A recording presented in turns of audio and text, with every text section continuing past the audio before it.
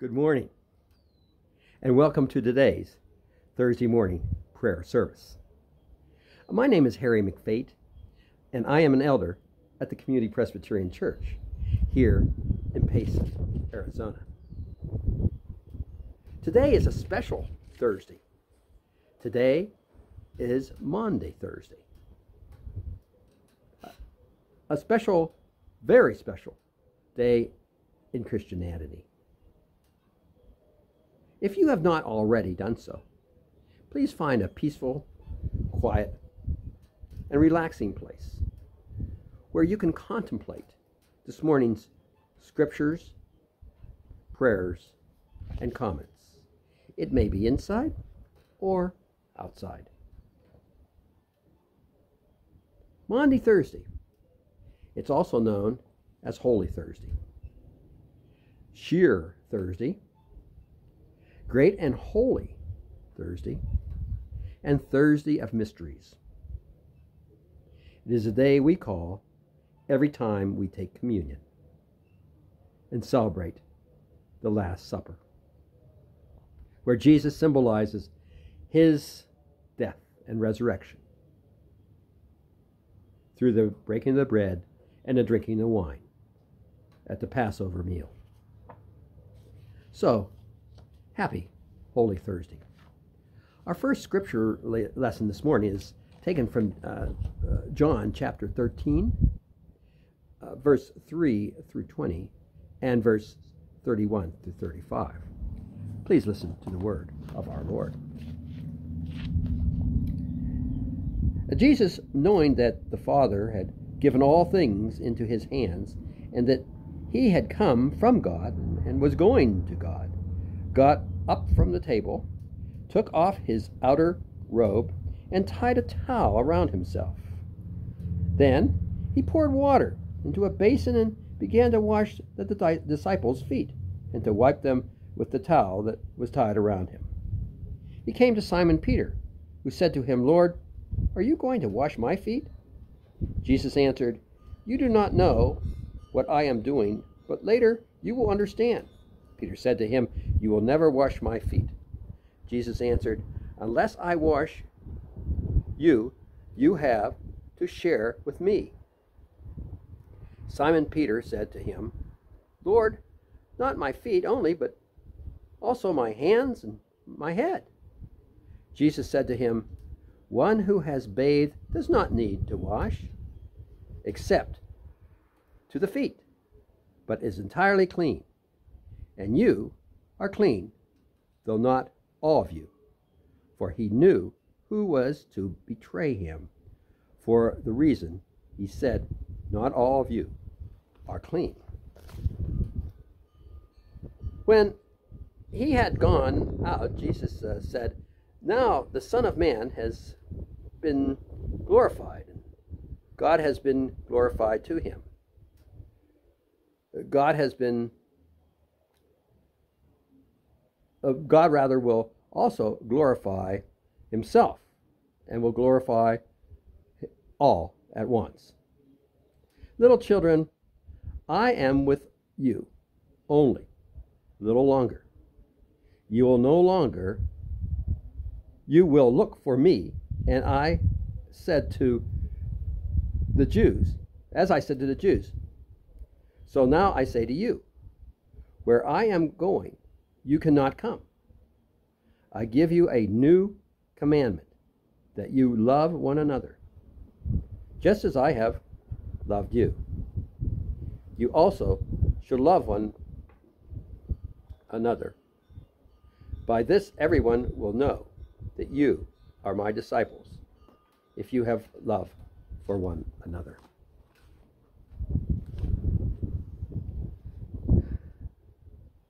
Last year, I recall Pastor Andy Blackwater relating a story in these days' devotions. When he was a missionary over in Haiti, it was a little island off of Haiti. He did not speak any of the language languages as much as he had studied earlier. The children at the Bible camp where he was attending could not speak in English. They had taken a, a bucket of water with them and a, a towel and a chair. They motioned one little child to sit down on the chair. And they sprinkled cold water over her little feet. She giggled. It tickled. One by one, the children had their feet rinsed. Soon, parents, grandparents, and even neighbors joined in. Jesus' actions were better than words for the disciples as well, just like the actions of the missionaries in Haiti. Let us pray. Uh, gracious God, teach us to serve as we are served. Fill us with Jesus' love. Help us all to be his disciples. Allow us to grow in our faith and recall Jesus' expressions of love better than words. Let us demonstrate the example of love carried out by Jesus and perhaps others, like those little Haiti children, one by one, will become aware of the expressions of love. Amen. At the Last Supper, Jesus was presiding over a Passover Seder. So it is interesting to wonder uh, when this supper really took place. I am sure religious scholars have debated this and, and have their answers, but re- Jewish religion uses a, a lunar calendar. So that Passover is always on a fixed day. Usually the 14th, or probably most often the 14th of the month. We Christians celebrate Easter the first Sunday after the full moon, which fluctuates, as we know, considerably. Maybe the last Thursday, the, the, the Last Supper was on Wednesday, Maundy, Wednesday. Maybe it was on Tuesday, Maundy, Tuesday. Perhaps even on Monday, Maundy, Monday. It wasn't until I was in junior high school that I called it Maundy, Thursday. I always called it Monday Thursday. It makes no difference. Maundy stands for commandments, or better, mandates. A final directive. Here, Jesus was giving a final directive to his disciples. In the law, we have such final directives as writs of mandamus, requiring people to immediately do something under the law. It's important, it is immediate. In John, Jesus is mandating the final commandment of humility, servitude, and love. Thus, this is Maundy Thursday, what Maundy Thursday is all about. Our second scripture uh, this morning is from the Old Testament Exodus, Exodus uh, chapter 12, 1 through 4, and 12 through 14. Please w- listen the word of our Lord.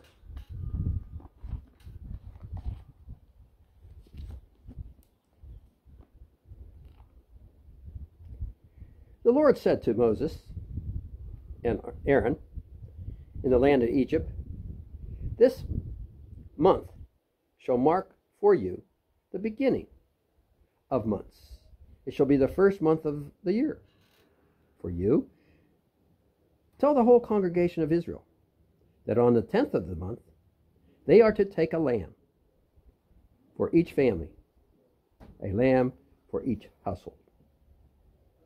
And this is how you shall eat it your loins girded, your sandals on your feet, and your staff on your hand. And you shall eat it hurriedly. It is the Passover of the Lord. For I will pass through the land of Egypt that night, and I will strike down every firstborn in the land of Egypt, but both human beings and animals, on all the gods of Egypt. I will execute judgments. I am the Lord. The blood shall be a sign for you on the on the house on the houses where you live. When I see the blood, I will pass over you, and no plague shall destroy you when I strike the, the land of Egypt. Well, this is pretty gruesome, isn't it? But what does it have to do with Maundy Thursday? Well,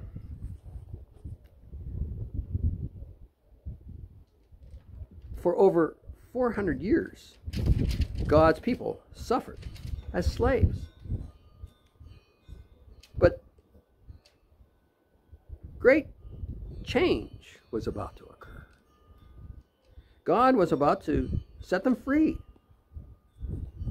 and guide them to a promised land. A great change. Passover signified the readiness of change, trusting the following of the Lord. This is what was being celebrated the night of the Last Supper. You see, Jesus was telling his disciples of a great change the most significant change for mankind ever. Let us pray. Dear God, on this Holy Thursday, we, we wonder what prayer Jesus offered to the disciples. We recall circumstances were challenging. Freedom was at issue. As we approach Easter we must pray that we all together are stronger, that we are all individuals. Help us to be able to lean on each other as a community and find solidarity, praying for hope and for brighter days that may have to emerge from tragedy, sadness, and even death. But through Jesus' teachings, we know that in the end, we will be stronger. All together in the prayer, let us all join together in the prayer that He taught us, uh, saying and reciting Our Father, who art in heaven, hallowed be thy name. Thy kingdom come, thy will be done, on earth as it is in heaven. Give us this day our daily bread. Forgive us our debts as we forgive our debtors. And lead us not unto temptation, but lead us, for thou is the kingdom and the power and the glory forever.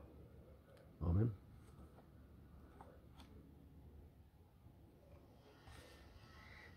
Have you ever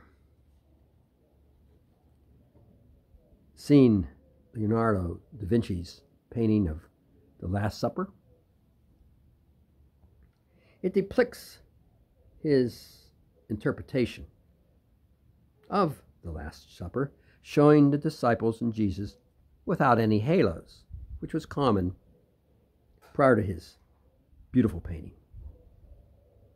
It also depicts various expressions of bewilderment and confusion when told by Jesus that one of them would betray him.